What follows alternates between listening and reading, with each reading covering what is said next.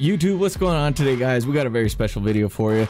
This is my, I'm gonna say my first official unboxing video. I do have another unboxing video, but I shot that one vertically and it's terrible and very cringe. Hopefully this one's not cringe, but if you go back and check the first one, I unboxed an Iron Man arc reactor replica. Say that 10 times fast. Jeez. But in the meantime, I got a new thing to unbox for y'all today. My order just came in last week. I've been holding this back and putting a lot of effort into making this video, so I hope you like it. But what we ended up getting was a brand new SCUF PS5 Reflex Pro controller. I am pumped to show this to you guys. I have been absolutely craving a PS5 SCUF controller for the longest time. It did not make sense for me to get a PS4 SCUF controller because those are not going to work on the PS5 games, and I wanted one that was good for games like Elden Ring, Horizon Forbidden West, but more importantly, Apex Legends and other FPS games that I'm into. Traditionally, I've just been using regular back paddles that just don't cut it for me. I wanted to upgrade and go for something a little bit more official, and now we got it, the PS5 SCUF Reflex Pro. Can't wait to show this to you guys. Really hope you enjoy the video. Don't forget to do all those fancy things, like, comment, subscribe, and as Tim the Tatman would say, be sure to tell somebody you love them. Hope you enjoy this video.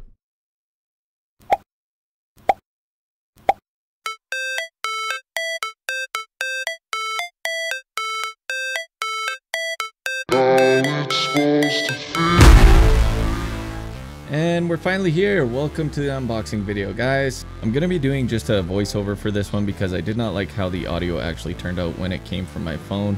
And I use a professional microphone, so I thought it would just sound a lot better. But what we're looking at today in the unboxing isn't just the SCUF PS5 controller. We are also looking at the player pack that came with it. And starting off, you can see I'm just being very careful opening up the box here with the knife which of course I'm sure I'm not supposed to use, but at the same time, it was just a lot quicker. So being careful as I was, I got the box open and this is just showing like, you know, how the package was shipped and it was essentially of course just shipped in a regular style packaging box. But once I finally got it open here, uh, as you can see, the presentation of the box itself and how it actually looks is very nice. Now, I actually got to finally get the steel gray model. The original one I had ordered was the white model, but after waiting a couple weeks for the white one to come in the mail, I actually got a email stating that the steel gray model was in fact in stock, and I quickly canceled the white one and got the steel gray instead since I really love the mixture of the orange colors with the steel gray.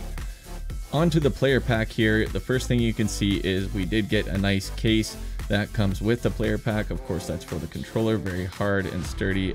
I'm not entirely certain as to what the case is made out of, but I will definitely use this to transport the controller just for the protection alone.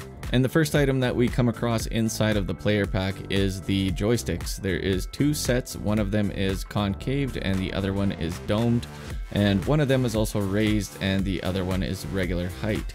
It didn't really make sense to me as to why we would get regular height versions. I would think that they should be like a different height again, or I'm not really certain because the controller itself does come with two regular height joysticks already. What I will try out first is my right thumbstick will actually be a raised dome thumbstick and the left one will be a regular height concave one. That's what I've been wanting to try anyways, something new for each joystick, whereas before the regular joysticks were simply just two regular sized concave joysticks on both the left and right of your controller.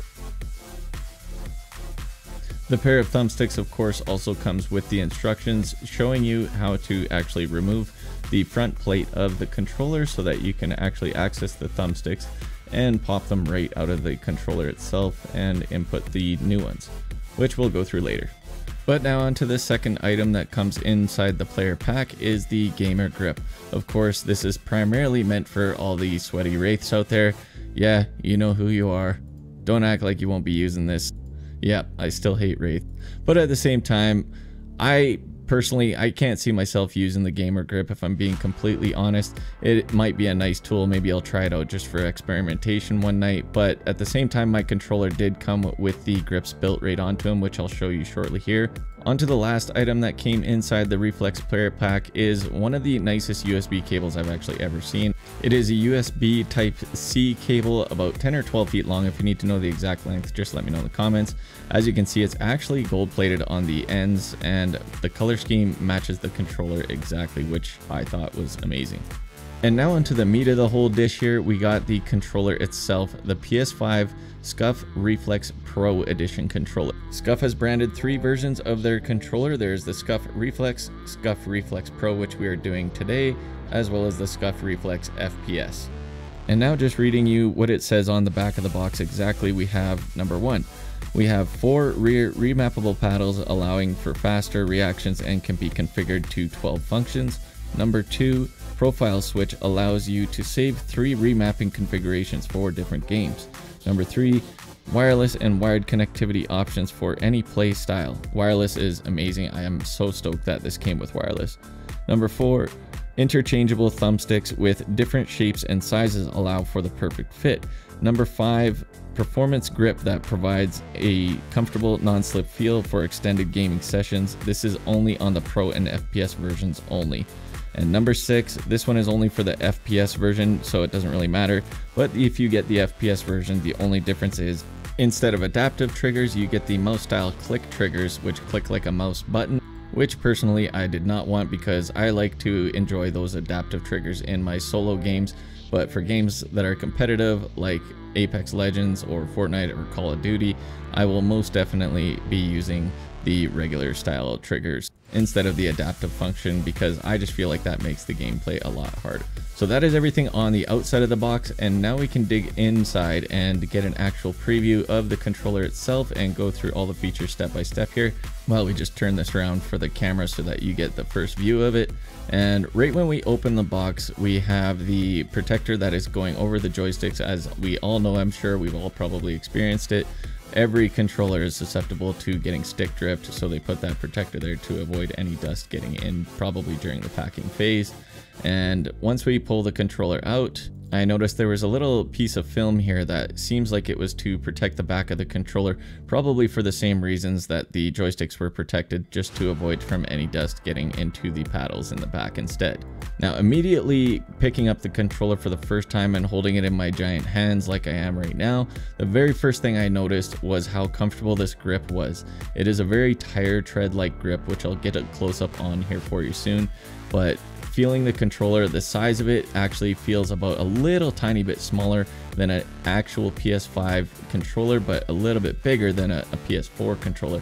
So likely the perfect size because I did feel like the PS5 was a little big and the PS4 a little small. So they actually hit a really good sweet medium spot here if you ask me. Whereas I thought they were using a shell of the PS5 controller exactly, but it does feel a little bit smaller. I could be wrong. It could just be my hype that I felt overall on checking this thing out. But anyways, as you can see here, we're pulling the joystick back because I keep noticing this hexagonal pattern everywhere and when I looked closer the SCUF logo is actually found inside the joystick which was pretty cool along with that hexagonal pattern. We're going to see that pattern all over the place. It was actually on the USB cable too, another thing that was just there to match this controller and flipping it over there's that pattern again on the grips and on the back paddles as well. One thing I was pleasantly surprised about with this controller is with the back paddles, you can see that they are actually not as big as they appear pictured in the website. They're quite small, probably like a mouse style button, but for all four paddles and your fingers can actually kind of slide right in between the two buttons on each side and you can hit both of them with one finger. It's pretty sweet in that sense. And here, just a close up, you can see the profile switch button along with each paddle is labeled with P1, 2, 3, and 4.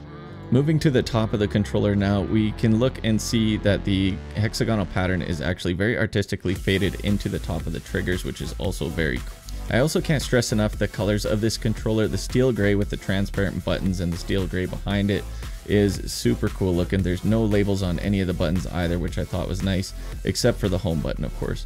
Here's an example of the concave and domed joysticks side by side. Those are the two I plan on using which of course for me, the left one will be a regular height domed joystick, whereas the right one will be a heightened concave joystick.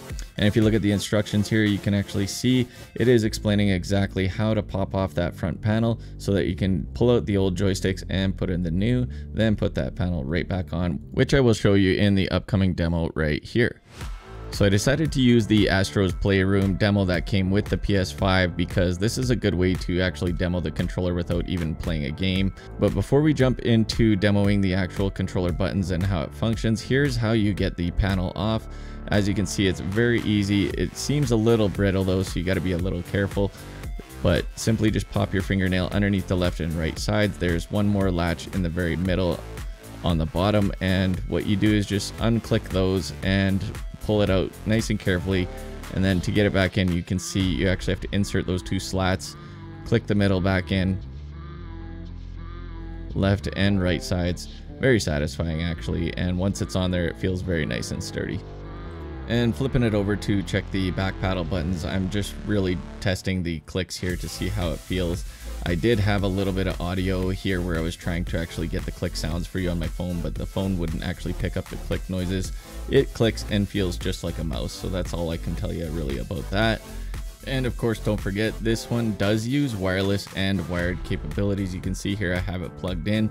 But for this demo, we are going to be going wireless so that we can test out all the features of the controller in the Astro Playroom demo that came with the PlayStation 5. First things first, we just power on the controller and it is going to tell us to test out the adaptive triggers. Now again, I did have audio for this originally on my phone, but it just felt better to do a voiceover because the audio wasn't that great coming from the phone itself. So while testing the adaptive triggers, you can definitely feel they have that click feeling like it with the original PS5 controller. It is pretty much spot on with exactly how it feels.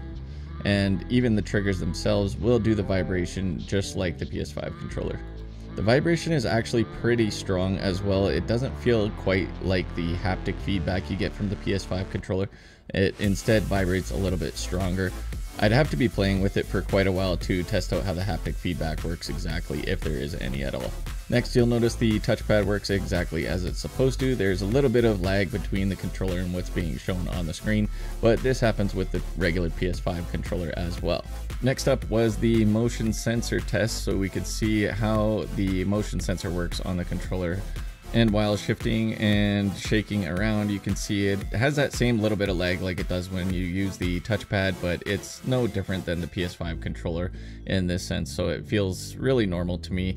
And you don't usually use this function all that much in most video games, I always found anyways. Lastly, one of my favorite features of the PS5 controller is the mute button. This button works with two different headsets that I have, both of which are also wireless. Both headsets also have a mute button on them, but this will override that and mute the headsets for you, depending on the model you actually have. If you'd like to know how much the player pack and controller are in total, you are looking at $39.99 for the player pack, and for the Scuf Reflex Pro Edition, it is going to cost $229.99 totaling at $269.98 plus tax and shipping you're likely looking at about $300 and since I live in Canada it costs more. Yay. Anyways I hope you guys like this video. It's been awesome. I'm really looking forward to making some more of these unboxing videos. So if you did enjoy this be sure to like comment subscribe and let me know down in the comments if you think you'll be picking up one of the Scuf PS5 controllers. I personally can't wait to get more into Apex and can't wait to upload some videos on what that's looking like. Keep an eye out for the review video as well. We will do a full review once I've been playing with this for at least a few weeks, maybe a couple months, okay? That's all for now. We'll catch you guys on the next one.